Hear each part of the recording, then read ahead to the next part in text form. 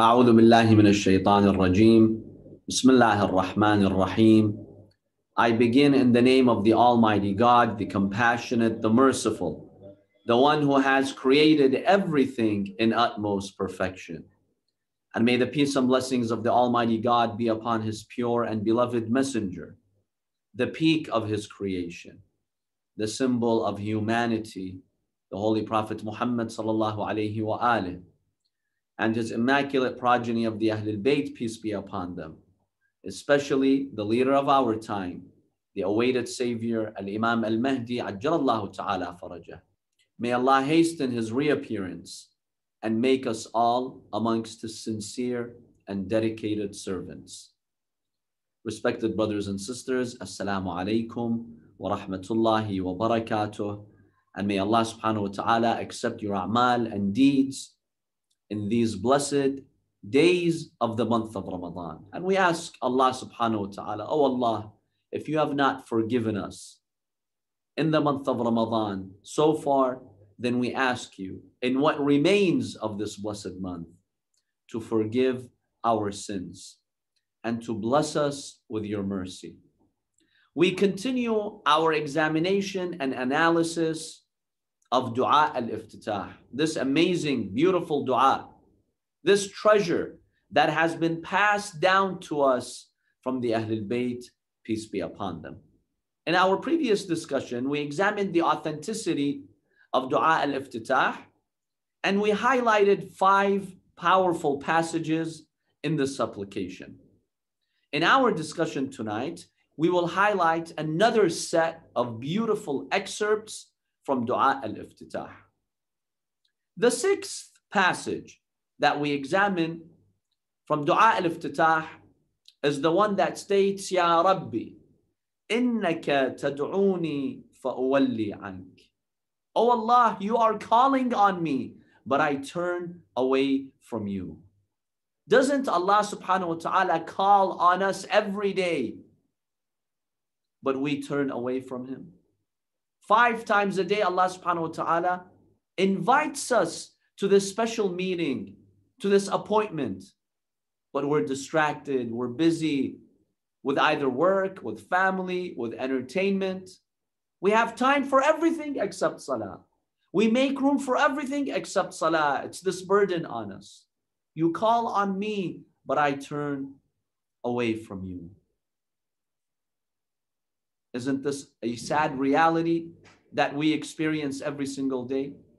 Once one of my friends narrated this interesting and very moving story. He said that he had a friend, maybe two, three decades ago. His friend was waiting for a job interview. He had worked his entire life to get that position. So his boss, or the person who would become his boss, told him, okay, we have a phone, we have a phone appointment. I am going to call you tomorrow at 2 p.m. and I will interview you over the phone.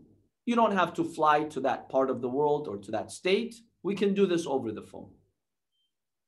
He says, I went to visit my friend on the day of his interview at 12 p.m. So, two hours before the interview. I went at 12 p.m. I saw him coming down the stairs wearing a suit preparing himself for that interview. He, he, he even had some cologne on. So he came at 12 p.m. He sat next to the telephone, expecting a phone call from that boss who's going to interview him. He says, I looked at my friend. I told him, Are you out of your mind?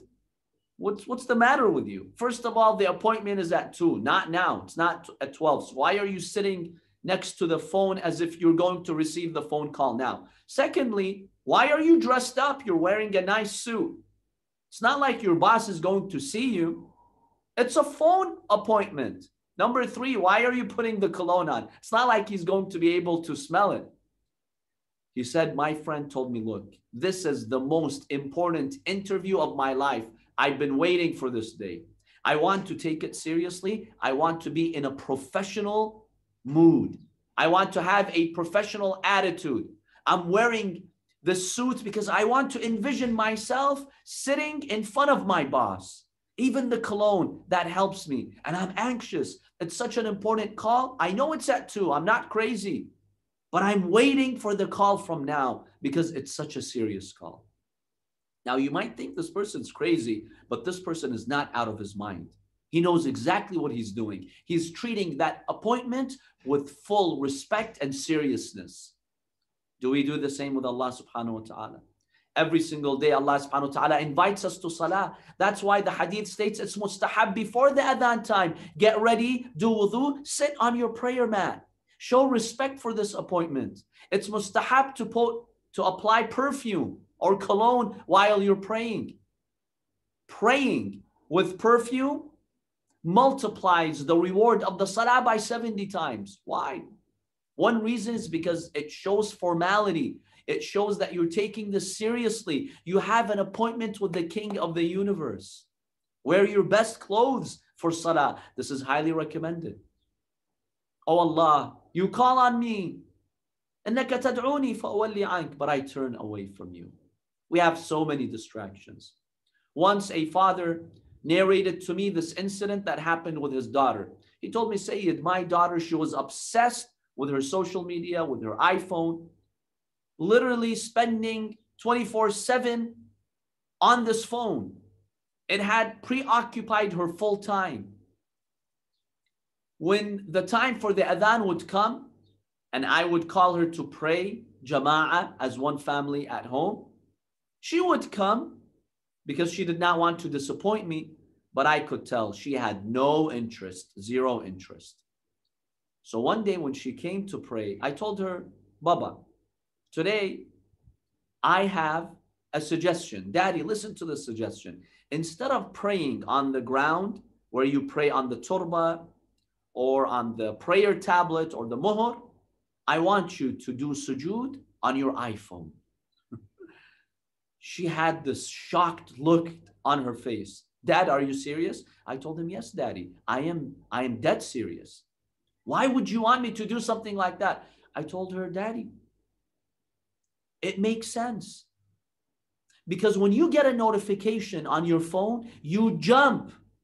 Your heart jumps to respond to it, to see what that notification is. When someone posts a reply to your post on, on Facebook, when someone likes your image on Instagram, you quickly jump on your phone to see who it is. But when Allah calls you, you don't care. So, yeah, you should worship this iPhone because it's consuming your mind and heart more than Allah subhanahu wa ta'ala. He says she felt ashamed. She prayed. She went to her room. Minutes later, she came. She told me, Dad, keep this iPhone with you. He says, I took her iPhone. She came back a week later. She told me, Father, give me my iPhone. I just need to, you know, run a few important things, take care of some important business. But I want to say something to you. The last week has been the most peaceful week in my life, free of distractions, free of the distractions of social media.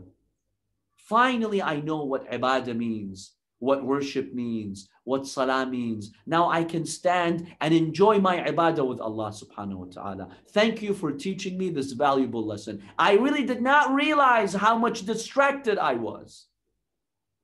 I was so preoccupied with this superficial life.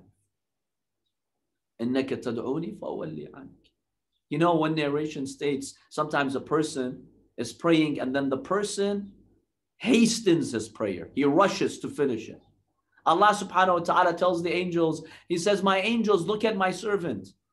He's rushing through his prayer because he wants to get something done. Does he not know that I call the shots? I will decide whether he will get it done properly or no. Where is he going?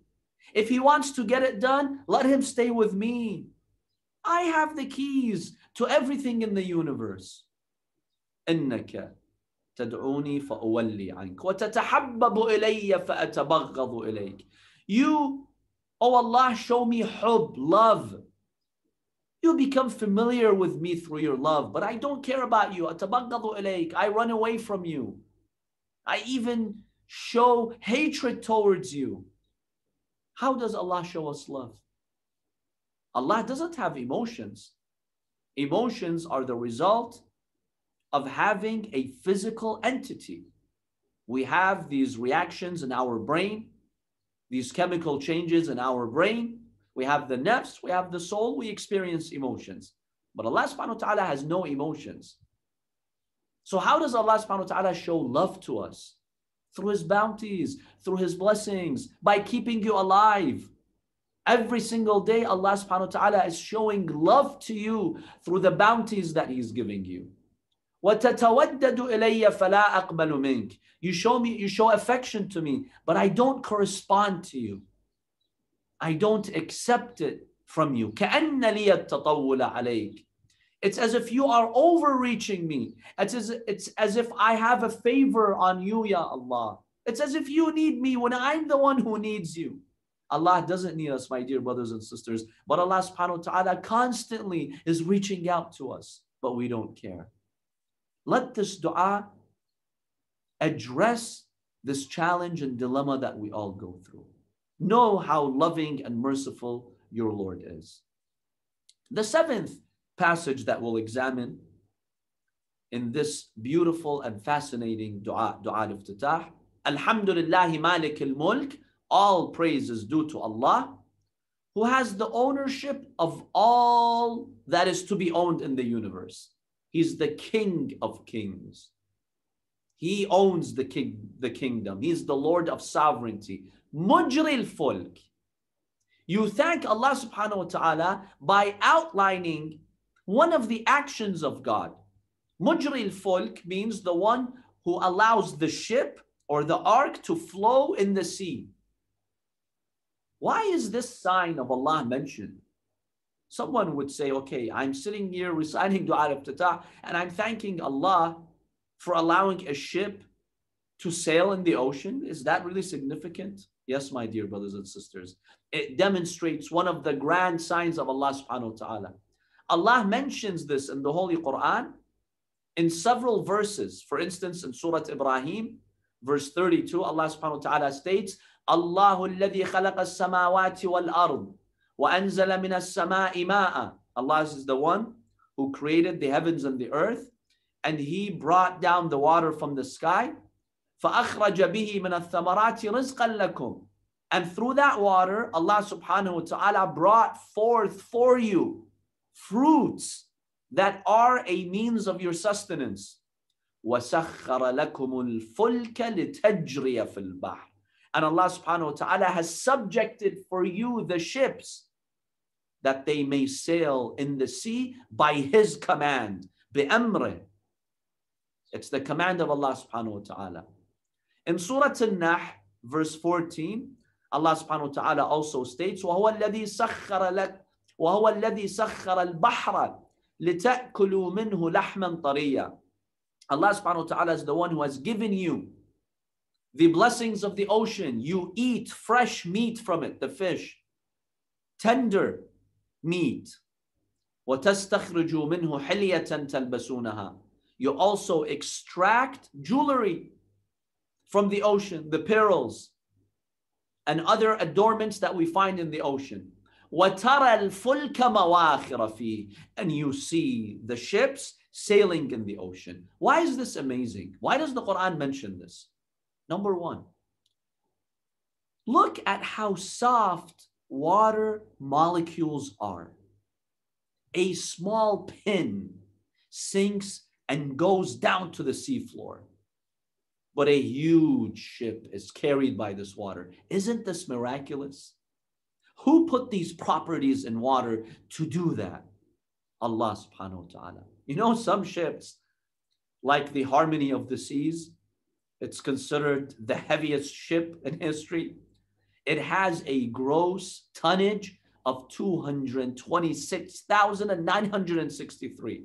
We're talking about 226,000 tons. That's over 200 million kilograms. Can you just fathom and conceptualize this weight? or consider the world's largest cruise ship. It's called the Oasis of the Seas. It stands 20 stories high. You've seen those big cruise ships? They're really, a, they look like a moving city. Now, this cruise ship, the Oasis of the Seas, it's as long as four football fields. It can accommodate over 5,000 guests. And that's just that double occupancy. How does the water carry all that weight? Thank Allah subhanahu wa ta'ala. Your ancestors could not come to this continent if it weren't for this property in water that would carry ships and it allowed people to come to various continents. The products that you use, my dear brothers and sisters, they are imported. A lot of them are imported from other countries. How did they get here? Through ships. See how much this amazing law of density and buoyancy is useful? Have we ever cared to thank Allah for that? If water did not have this particular density, and if Allah subhanahu wa ta'ala had not created the law of buoyancy that creates reverse energy, motion, pushing up an object, allowing it to float, you would not have had any of these blessings. You couldn't live the way you are living today if it weren't for this amazing feature that Allah subhanahu wa ta'ala put in water. Have we thanked Allah subhanahu wa ta'ala for that? My dear brothers and sisters, dua al-iftitah is fascinating. There's science contained in this dua. Look at these laws around you. Do you think they just randomly happened? The eighth one, the eighth passage. Musakhir al-riyah. Oh Allah, I praise you for controlling the winds. This is another grand sign of Allah subhanahu wa ta'ala. Wind is a beautiful source of renewable energy. And today, this renewable energy is being developed more and more. Now, the energy that drives winds originates from the sun. Basically, the sun heats the surface of the earth unevenly, and this creates warm spots and cool spots. This creates differences in pressure. And the wind goes from low pressure, from high pressure to low pressure. That's how the wind works.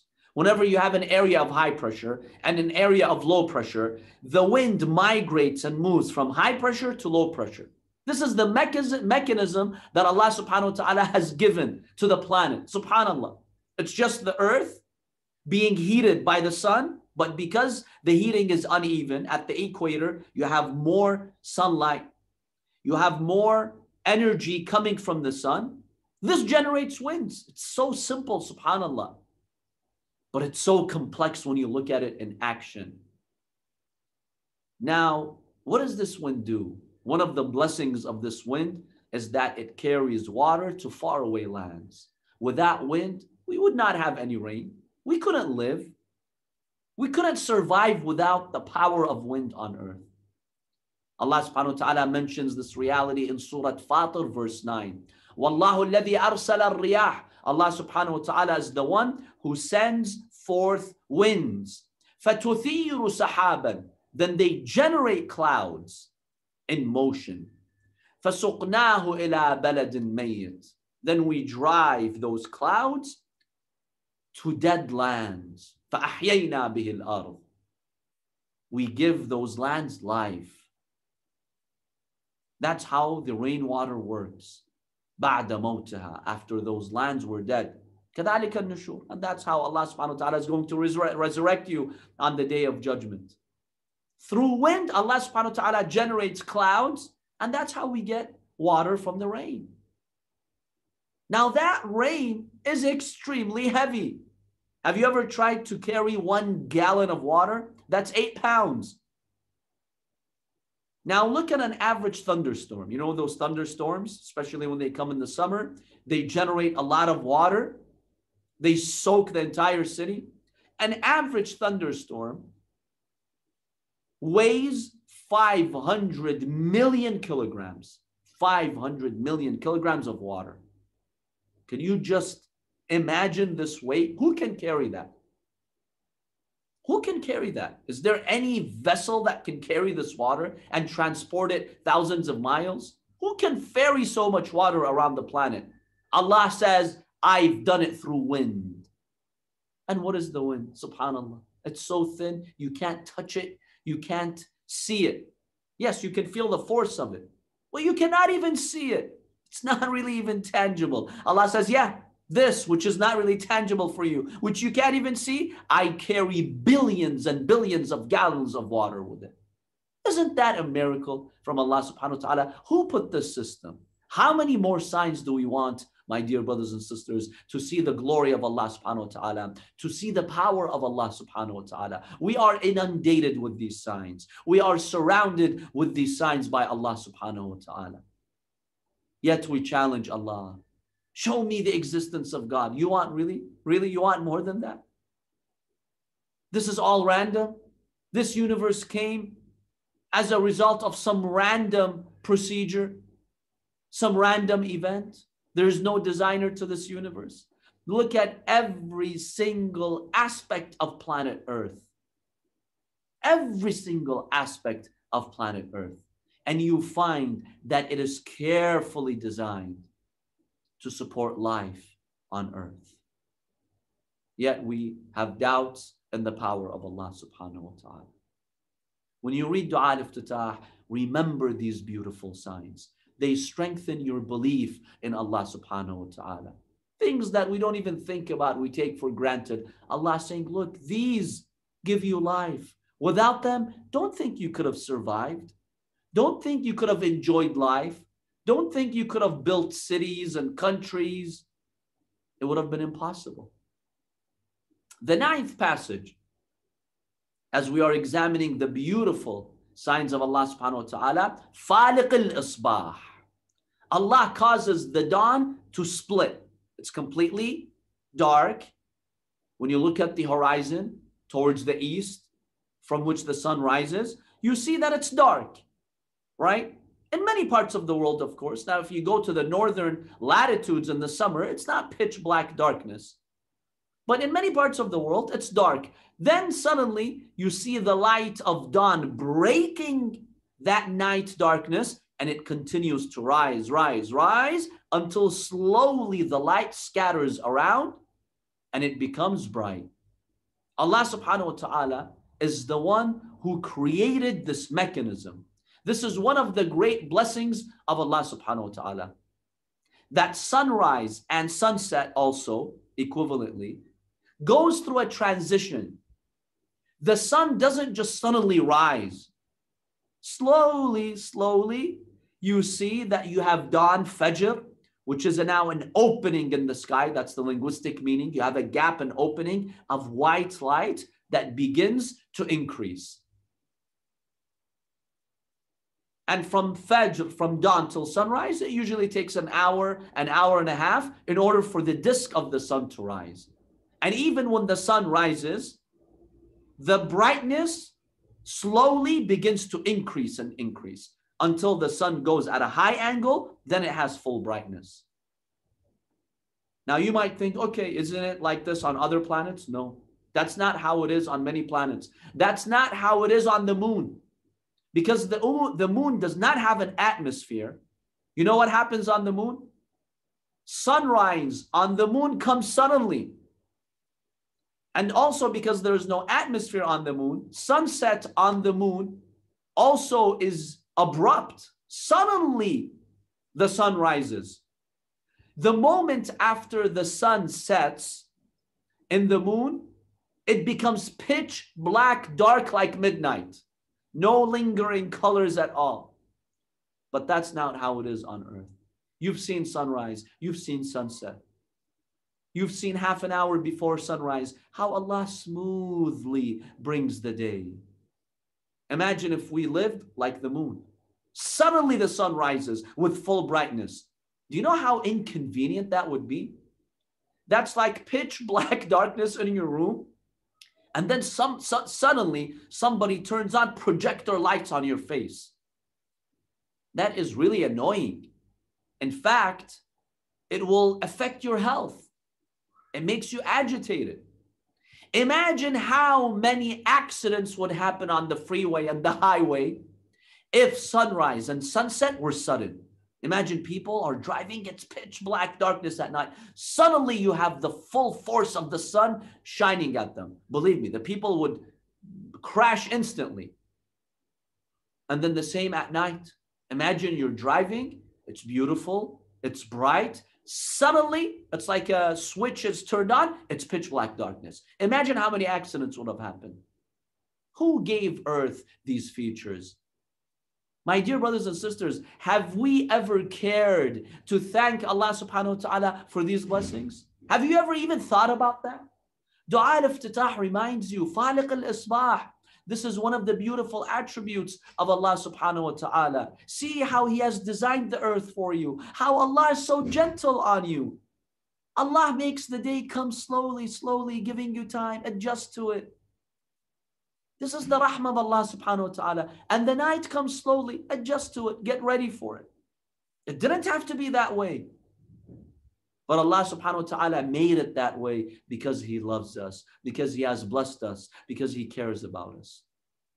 How do we pay Him back? By turning away, by sinning. The least that we can do is to thank Allah subhanahu wa ta'ala. Tonight, my dear brothers and sisters, list down these blessings. Oh Allah, the features of the water and the buoyancy and the density and the ship that's able to move. I thank you for that. I couldn't live my life without it. Oh Allah, the wind that you generate, the blessings of the wind, the benefits of wind, and how it allows the rain to give us life. I thank you for that. And even, Ya Allah, Ya Faliq al Isbah, because this is mentioned in the Holy Quran. Allah subhanahu wa ta'ala mentions this in one of the verses of the Holy Quran. Oh Allah, I thank you for that. For designing the planet such that night and day alternate so smoothly. The transition from night to dawn is so smooth, it's just mind boggling. Subhanaka ya Allah. How great you are. How beautiful is your system. Oh Allah, open our hearts to your path of guidance. Oh Allah, we ask you to always let these signs be visible to us so that our faith in you shines in our hearts. Always. Wassalamu alaikum wa rahmatullahi wa barakatuh.